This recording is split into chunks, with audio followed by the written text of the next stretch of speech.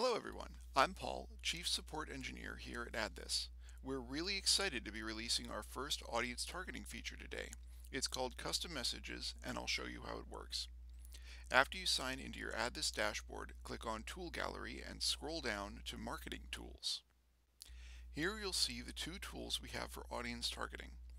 Marketing Overlay, which was formerly called Conversion Lightbox, and the Welcome Bar. With a free AddThis account, you can use the welcome bar to set one rule for your audience targeting. Remember, you can upgrade to Pro at any time to create multiple custom messages. I'll show you how custom messages works by using our Pro Marketing Overlay tool. You can use the marketing overlay to display a more prominent message to your targeted audience. It's designed to only appear when your visitor intends to leave your page, so once they X out, they'll never see it again. To get started, just click on Settings. If you set up the marketing overlay before, you'll notice the next page is a little different. Your live messages will now appear first in a list, like so. Click on the message to customize your marketing overlay for each message. These messages are your rules, and with a free account you can set up one rule with the welcome bar. At the very top, you'll see a drop-down menu labeled Audience. This is where you can select a specific product audience. In the drop-down is a list of audience types based on where they came from, what interests our data has indicated they have, if they came from a specific campaign, and if they've been to your site before or not.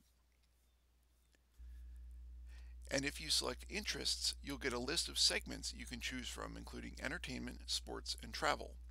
This means you can create different messages for each audience you select. So if you have great sports content, you can show that just to your sports nuts and pick something else to show your other audience types. Powerful stuff.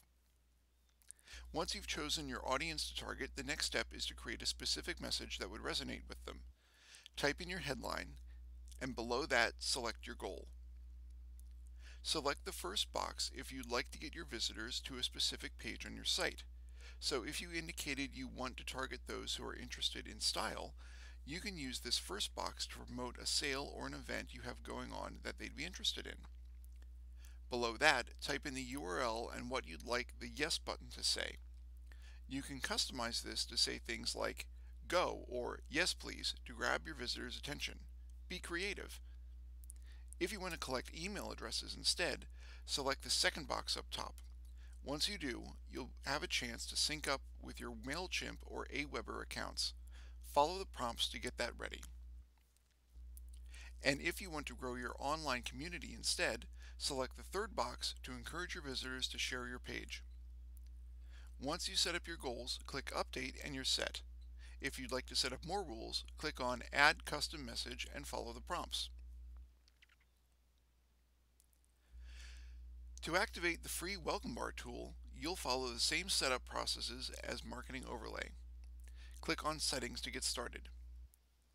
If you haven't set one up already, click on the blue Add Custom Message button and follow the prompts.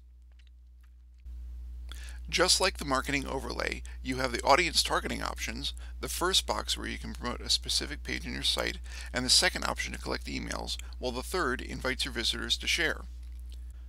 You can also do all the same customizations you can do with the marketing overlay, including audience targeting, making your welcome bar even more powerful. And there you have it. If you run into any trouble, send my team an email at help at addthis.com and we'll be happy to assist you. We hope you like our custom messages feature. Send us any feedback you have. We'd love to hear from you. Thanks for watching.